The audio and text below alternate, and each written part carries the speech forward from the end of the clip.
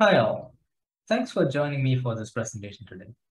Seven years ago, I attended a conference session uh, where someone talked about exploring Docker for Hadoop.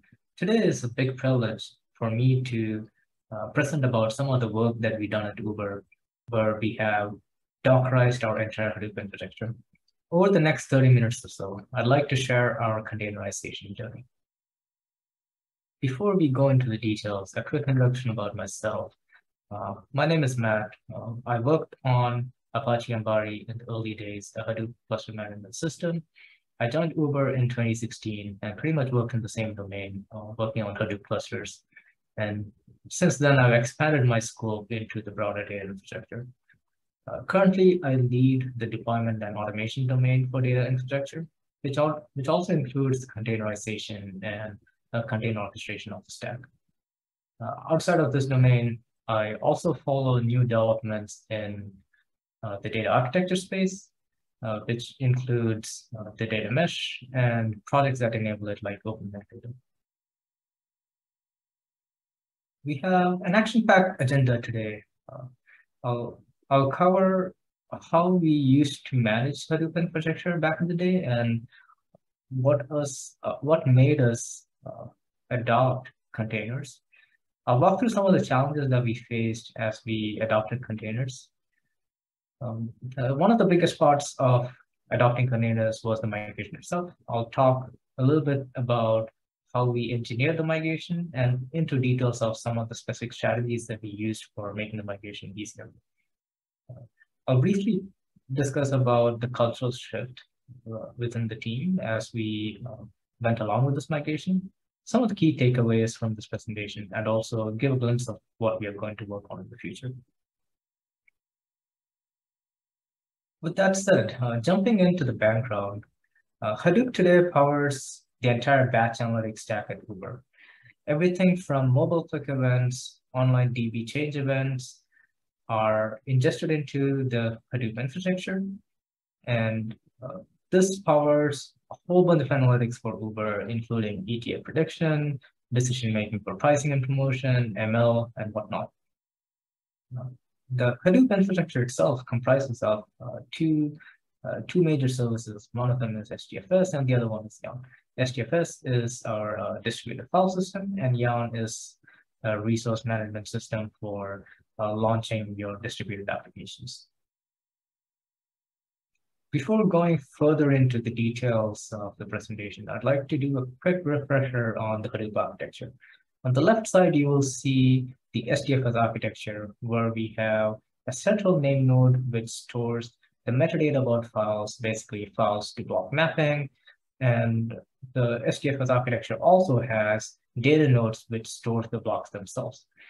Uh, together, they form a distributed file system. On the yarn side, which is on the right side of the slide, uh, we have a resource manager, which is uh, the central system that controls resources across the entire cluster. Um, clients and users submit applications to the resource manager. The resource manager is in charge of uh, ensuring that these distributed applications get uh, allocated containers to run across the entire fleet. Uh, node manager is uh, the node level agent, which is responsible for uh, starting and stopping containers and basically ensuring that your uh, containers are running in the fleet. One common thing that you would see here is that uh, both HDFS and Yarn have um, sort of control planes where name node and resource manager are kind of control planes within the Hadoop architecture. And we also have data nodes and node manager, which are kind of the data plane of, uh, of the Hadoop stack. Uh, one other point to mention over here is that uh, Hadoop is a very traditional system. It is uh, built and designed for bare metal, and it has been run traditionally in the industry for bare metal, in bare metal, or on VMs. When I when I mentioned containers in this architecture, these containers are typically JVM processes running on the host, and they're not necessarily like Docker containers. This slide is a very good overview of how our team has evolved and what is the, uh, how the scope of the team has evolved. Uh, I joined the team in 2016 where we had an SRE team with uh, three or four members. And uh, in late 2017, early 2018, we uh, amended the team by adding an additional sub-team uh, which worked on development on the core Hadoop side. Uh, by late 2019, we merged the team, merged both sub-teams together into a single uh, DevOps team, uh, which which is after after which we had a lot of innovation happening in uh, moving Hadoop to containers. Until the until uh, early 2020 or so, we were using a lot of ad hoc scripts, tools, and uh, a lot of tooling written in different languages to maintain our Hadoop infrastructure. Um, by mid 2020, we started adopting containers, and uh, there's a reason why we started uh, adopting containers after, which I'll get to in a minute. Now, one of the other things to look into is uh, how the fleet size has grown over the years. Uh, you'll see this blue line over here, which uh, showcases that the fleet size grew exponentially from a few hundreds to the 10,000s, 20,000s range, whereas our engineer engineering uh, team uh, grew only 3x in that time frame. Uh, as we scaled our clusters, we we got to a point where we were managing 25,000 plus hosts. Uh, the Hadoop infrastructure was supporting 350,000 distinct applications or jobs per day. I'll be using applications and jobs interchangeably in this presentation. And these jobs or applications have um, very short lifetime. They run for a few hours or so and uh, do an ETL job or some ingestion job and basically uh, come back the next day and uh, run in a similar fashion. Now, these are all distributed applications. So these 350,000 jobs were translating to 20 million plus uh, JVM processes launched across the fleet on a daily basis. Uh, as we as we scaled uh, our Hadoop infrastructure over the years, uh, it, it became inevitable to invest people in doing zone turnups, zone decoms, OS upgrades, and whatnot. Uh, these fleet-wide operations became uh, cumbersome for the team in general due to the lack of automation and uh, operational excellence. And, and this was our major turning point. We were repeatedly assigning people every, every six months to do one of these fleet-wide operations. And uh, this is when we um, made a big decision to move to Docker containers and rely on con a container orchestration system, which is in-house internally built to uh, simplify our operations. Given that I've set the context, I'd like to move into some of the challenges that we uh, that we faced along the containerization journey.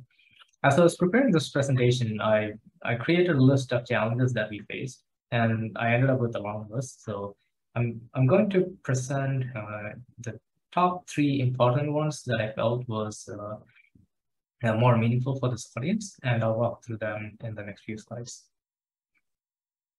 The first challenge that we faced was uh, multi-cluster management. Hadoop is notorious for having thousands of config files for maintaining one, one single cluster. Uh, back in 2016, we had two clusters to manage. It was uh, relatively easy to manage their configs, but by 2020, we had around 40 to 50 clusters to, to manage. The typical practice within the team to manage uh, clusters was to create a new directory in a Git repository, uh, copy paste the Hadoop default configs from open source, uh, customize it, and by that time you have uh, deployed the configs to the cluster, you might have already ended up with uh, a thousand plus lines of configs. Uh, there's a there's a snippet over here which shows uh, one of our internal clusters, Broman, and the number of lines in the config files that a developer has to uh, manage, which is around a thousand plus. Uh, if we multiply this thousand with 40 to 50 clusters, it's easily like 40,000, 50,000 lines, and uh, it became a bigger maintenance problem uh, for us in general. So we we thought about this uh, solution. We uh, revamped the entire config, uh, config and cluster management uh, system in such a way that we we plucked out all the common configs and put them into a specific part of the code. We looked into uh, defining different cluster types and also defining uh, the cluster names and tying them to cluster types, uh, adding a bunch of template files which were uh, generate which were used for generating XML files which Hadoop understood. And we have this config generator which uh, gets all these inputs and generates the config file at a at a cluster level. Uh, once these files are generated, we save them into the Docker image and our container orchestration system deploys it to each of the clusters. During deployment, a set of runtime variables are injected, and these runtime variables included host name, cluster name, ports, and whatnot. Uh, some of these variables, such as cluster name, uh, provided enough input to basically pick the correct config files uh, for uh, running the container. Now, we the the biggest benefit of this approach was the the configs and the cluster definitions was defined through a language called Starlark, which was pretty much 4,000 lines of code, and we were able to generate 150,000 lines of configs uh, through the system. Uh, so now this made it easy for us to uh, manage clusters in general. We also adopted a similar approach for maintaining not only the Hadoop configs, but also for metrics and alerts and so on. So we basically follow similar templates. Uh, the second biggest challenge that we uh, had back in the day was security being an overhead. But the old process of uh, adding nodes to the cluster kind of kind of looked like this, where uh, someone goes and provisions those, and then uh, you talk to someone in a different team to generate secrets for these hosts. You kind of SCP the secrets to these hosts, and then you start the Hadoop process with then uh, later joins the cluster. Uh, as part of uh, con our containerization and automation journey, we we thought about infrastructure security from the start uh, because that was very critical for automation to just work. Uh, so uh, within Uber, we use uh, one of our uh, proprietary container orchestration systems uh, to do to to do all of this, um, the container deployment, automation, and general.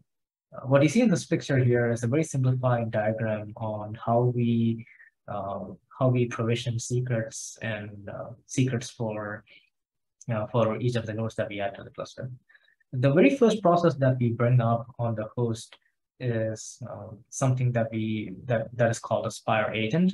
Uh, Spire is pretty much based on SPIFFE authentication protocol. It basically uh, provides identities and uh, provides a way to trust software systems within a distributed system.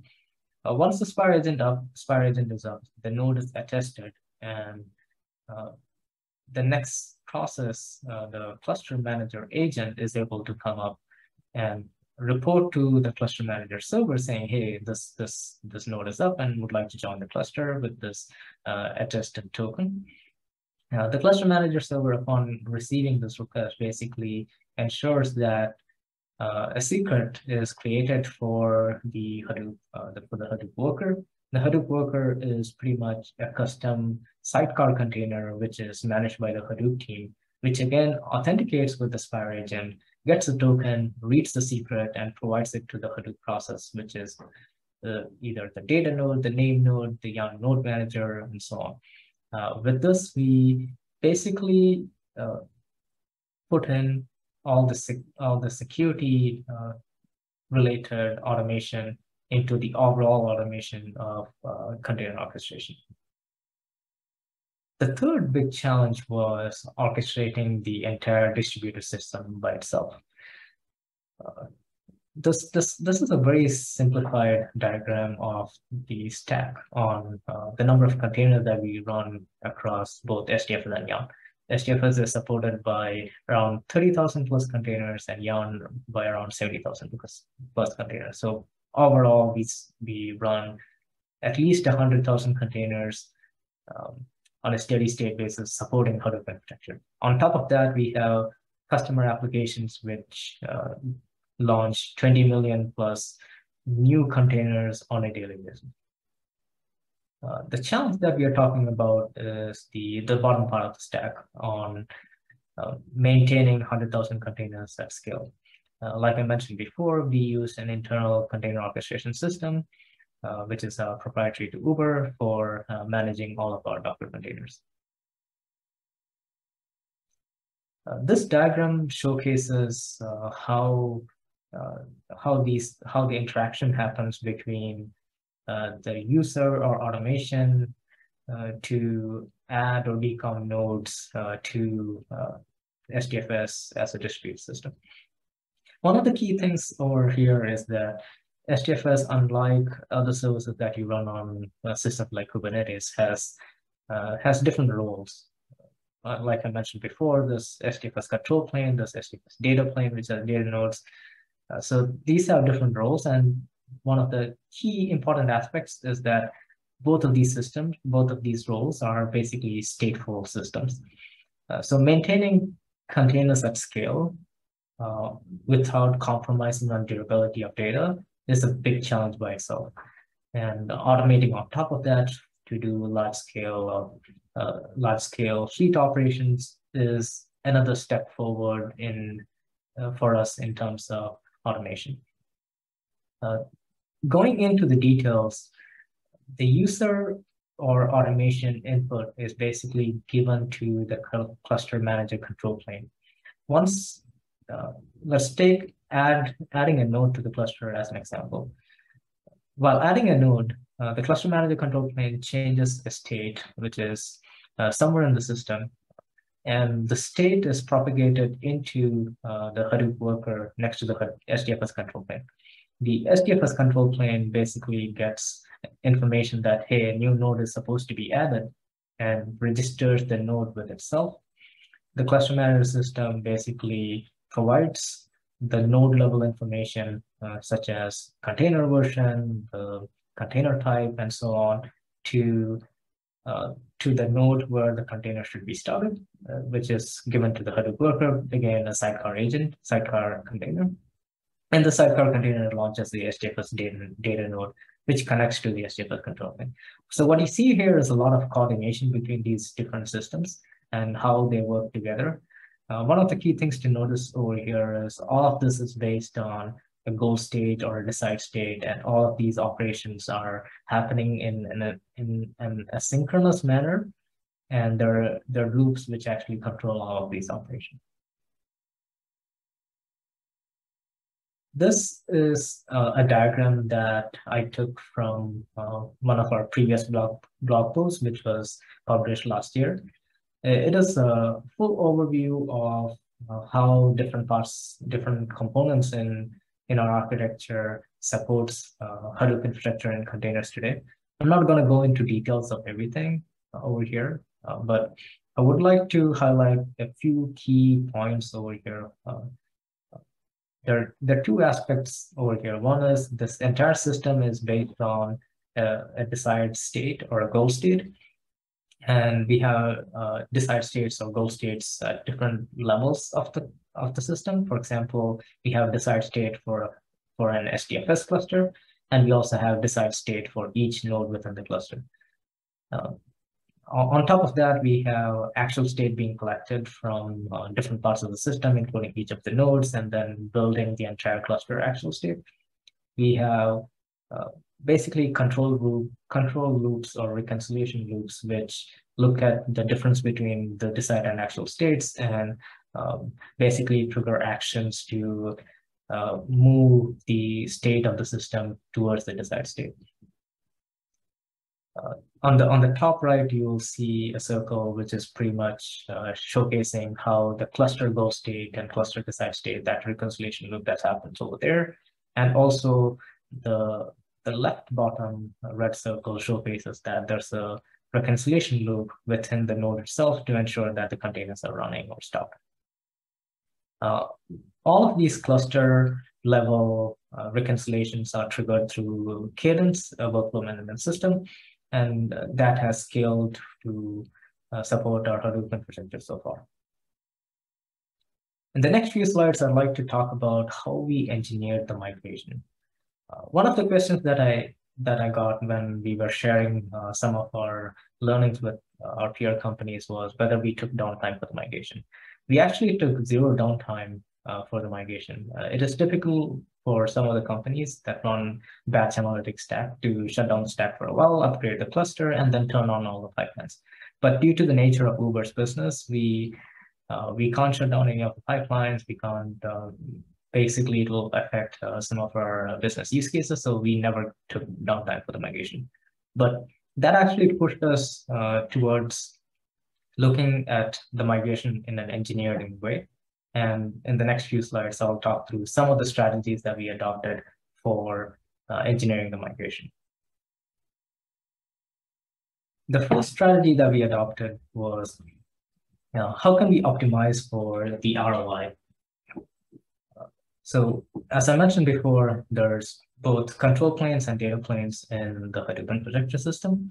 And the control planes are a few in number. There's uh, literally like 5 to 20 to deal with, whereas the data plane is in the thousand scale. So we focused on uh, the biggest part of the fleet, which, which is making the migration easier for the data plane. And we invested heavily in uh, building automated workflows to do the migration. And this was again based on uh, Cadence. Uh, this graph showcases how we you know, ran through the migration. Uh, you'll see that uh, the graph goes up all the way to hundreds or 200s, which means that was like the peak of how many nodes were decommissioned and kind of piling up in our pool for basically going through the containerization process. And as the graph goes down, that's when the nodes were kind of cleansed, uh, added with um, the Docker, Docker daemon and other system-related processes and added back to the cluster. Uh, we ran this automation for several months, and uh, within uh, within a year or so, we were able to basically migrate uh, more than 75% of the cluster through through these automated workflows. The second strategy that we chose was uh, how do we make uh, things compatible between the legacy bare metal JVM way of running things to the new Docker way of running things. And we identified two different areas where compatibility really did matter. And that was based on uh, what was visible to the customers. Uh, the first area what, what that was visible to customers was uh, where their jobs run. Their jobs used to run on uh, bare metal machines as JVM processes, but in the new system, they would be running as Docker containers. So that, that would be on the data plane. Uh, the second part, which we looked into was uh, how do the customers interact with the Hadoop stack? And their interactions are typically with the control planes, whether you're submitting a job or listing something on the file system, that goes through goes to the uh, the Hadoop control planes. So going into details of how we made uh, made it compatible between the legacy data plane and the the Docker Docker-based data plane. Uh, the first thing that we did is we looked into all the dependencies on the all the dependent libraries on the legacy bare metal host. We basically created a Docker image with all these base dependencies. So as we as customers were submitting applications to Hadoop Hadoop infrastructure, we basically injected uh, the jars that they were submitting into the base Docker image that we were providing uh, used uh, within our Hadoop infrastructure and ensuring that the customers, the customer did not even know that their JVM processes were, were running in containers uh, because of some of the changes that we did. It was completely transparent. So this was uh, this was something that we did underneath the hood. Uh, the second aspect of the data plane migration was more around uh, how did we validate this? There are hundreds of 200, 200 libraries that uh, customers depended on, and it was very hard to figure out what is the full set that is required to make the migration work for all the 350,000 applications and 20, 20 million plus containers launched per day. So to come up with a very good migration strategy, we actually partitioned the cluster where we had two subclusters, one which is in red, which is the uh, legacy stack, and the one which is in purple, which is the uh, Docker-based stack. And we started, uh, we built a transformation uh, function within our uh, control plane to move some of the workloads which were in uh, the legacy bare metal to the Docker-based setup. And this provided us a good amount of insights by shadowing some of these jobs into, into the Docker-based Docker-based fleet because that surfaced up some issues early on, which we basically fixed forward in an agile manner. Uh, however, the handheld movement of uh, 350,000 jobs would be would be kind of an impossible task for us. So as we started building confidence with 100, 200 jobs that we had shadowed, we basically changed our strategy and we kind of knocked down the partitions and said, we are going to uh, randomly distribute some of the uh, some of the Docker-based hosts into the entire cluster and let applications run across both. And this is when uh, it was an epic moment for the team where we had applications uh, submitted by customers uh, where 20 of the containers, 20 containers out of the same application was running in Docker, whereas the rest 80 was running on bare metal, and they used to, they can communicate with each other and the applications run perfectly fine. Uh, we continued along by adding more uh, Docker-based hosts into the system and eventually depleted the old legacy bare metal hosts from the uh, from the cluster. The, the second aspect was to make compatibility possible at the control plane level. So customers interact with HDFS name nodes and Yarn resource managers. And the way they interact with uh, these control planes are through uh, a typical Hadoop uh, Java binary, which is what we internally call as a Hadoop client. And the Hadoop client uh, consists of configs uh, which point to the name nodes and the resource managers, which basically map to IPs in our system. Uh, due to the legacy nature of the stack, we built, uh, we started Hadoop back in the pre-IPO days. We have hacked up a lot of systems. We have thousands of client usages where these IPs are hard-coded across the entire cluster. So one of the first things that we did over here was to uh, basically standardize the client and also the configs. So we moved to uh, um, basic DNS name-based approach where we have one single name which points to HDFS name nodes, another single name that points to Yarn resource managers. And this change was orchestrated across the entire company uh, using um, a very decentralized effort called uh, the Hadoop uh, client standardization effort. Uh, a good amount of the work was done also through uh, some of our monorepos. We have a single uh, repository that is shared across the entire company. So we were able to uh, upgrade the libraries uh, through a single through a single uh, uh, diff in the monorepo. However, we required many of the teams to validate and basically redeploy some of their applications so that things wouldn't break. Once the control plane, uh, once the customers have adopted these new clients, it became easier for us to uh, move the control planes around because they're all uh, fronted by the CNAME. So we were able to move these control planes around. We were able to shut down one control plane node, uh, move them into Docker, kind of validate and test, move it back. So this was kind of our strategy to move control plane of uh, Hadoop infrastructure into Docker. As part of this uh, big migration journey and containerization journey, I think one of the big biggest aspects that we uh, that we learned was the the cultural shift that happened within the team. As of today, we have 99%, 99.4% of the Hadoop infrastructure running in Docker. Uh, we went through this transition from a from a full SRE team to a Dev SRE team to the DevOps team and moving to DevOps model actually brought us a lot of benefits in terms of uh, basically consolidating the work together, ensuring that the teams are more being more efficient, reducing the dev dev and release cycles. So this this this the shift was pretty much uh, an eye-opening experience for us. We have also reduced the operational effort across um, across the team for managing Hadoop clusters. And we are also on a very strong trajectory to reduce the operational effort further for some of the bigger fleet-wide operations.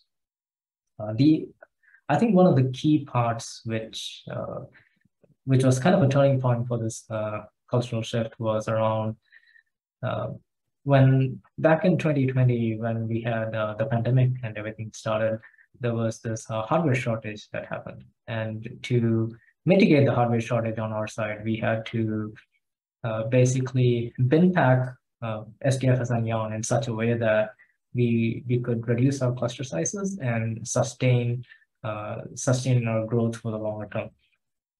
And uh, just because of the container orchestration system and the container-based way of operating our clusters, we were able to do this bin packing within six months or so through automated workflows by just defining one policy to ensure everything is kind of uh, bin packed together.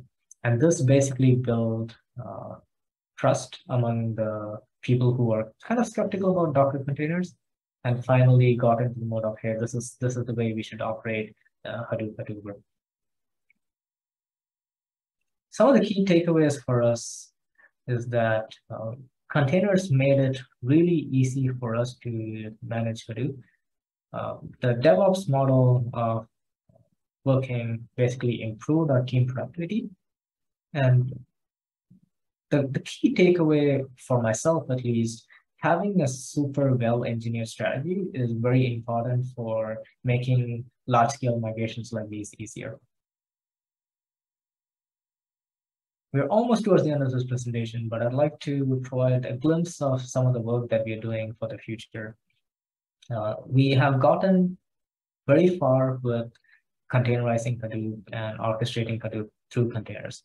Uh, we are in the works of uh, optimizing these, basically tuning some of the concurrency limits and doing drills to ensure we can do larger fleet-wide operation. Basically, can we turn over uh, thousands of hosts by the click of a button without any manual involvement? And we are still uh, polishing some of those edge cases and so on.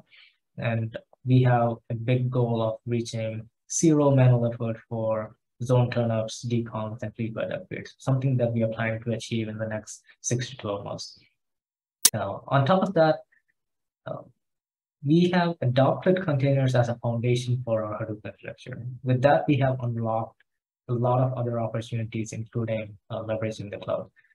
Uh, we are currently looking at modernizing our data infrastructure stack, and cloud basically plays a major part of that story. With that said, uh, that is the end of the presentation. Uh, happy to take any questions and feel free to reach out to me offline if you have uh, more questions. Thank you all.